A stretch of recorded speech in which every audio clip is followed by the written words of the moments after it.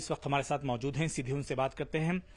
आरिफ जी, तमाम पार्टियाँ अपनी जीत के दावे कर रही हैं। कल लोकसभा चुनाव के नतीजे आने वाले हैं।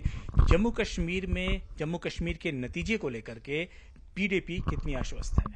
देखिए, हमें पूरी उम्मीद है, कल वोटिंग है, ये जो एग्जिट पोल वगैरह, ये इस वक्त हिंदुस्तान में दिखाई जा रही थी। एग्जिट पोल कम, मोदी पोल ज़्यादा लग रही है। कि उनमें वो स्टेट्स भी लग रही है कि जहाँ पे कांग्रेस भारी अक्सरियत में अभी असेंबली इलेक्शन जीत रही है।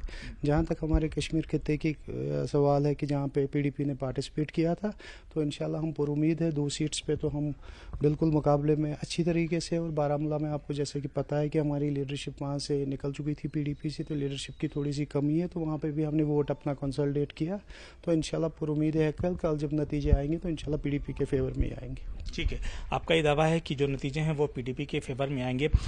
एग्जिट पोल जितने भी आए हैं, वो तमाम जो हैं पीडीपी के हक में नहीं रहे इसको लेकर क्या कहें देखिए जब तक कल डब्बा खुलता नहीं है जब तक काउंटिंग होती नहीं है तब तक ये कहना मुझे लगता है कि ये अभी कबल वक्त कहना नहीं है कि रिज़ल्ट क्या आएगा। हम्म। तो कल इंशाल्लाह वोटिंग है। कल आप भी वहाँ पे होंगे जब पोलिंग मशीनें खुलेंगी और वोट गिने जाएँगे। तो इंशाल्लाह हम पूरी उम्मीद है कि जिस तरीके से लोगों ने पीडीपी का साथ दिया दिया और चाहे साउथ कश्मीर में हमारी बाबा मुफ्ती साहिबा का साथ दिया पीडीपी का वहीद साहब का साथ दिया तो हम पूरी उम्मीद है। जैसे कि आप लोग जानते हैं जो इलेक्शन हमने ये पीडीपी ने खुद लड़ा। लगता था कि ये पीडीपी वर्सेस ऑल था। कितनी परेशानियाँ भी हमें उठानी पड़ी। आपने साउथ कश्मीर में भी देखिए पोलिंग लेट स्टार्ट हुई हमारे बंदों को। पोलिंग से एक दिन पहले ही गिरफ़्तार किया गया। हमें धरनों पे भी बैठना पड़ा। माँ जी धरने पे भी बैठी।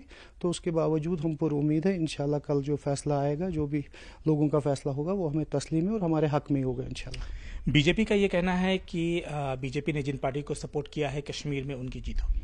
देखिए, बीजेपी का खुद का तो कोई कैंडिडेट नहीं था, कोई साख्त तो उनको कश्मीर में है नहीं। अब कहना कि हमने सपोर्ट किया तो वो कल ही पता चलेगा जब रिज़ल्ट आएगा कि कौन कितने पानी में तो ये हमारे साथ थे पीडीपी के स्टेट सेक्रेटरी आरिफ लाइगरू कैमरामैन अयूब के साथ मैं काजिर फान, न्यूज़ एटीन के लिए।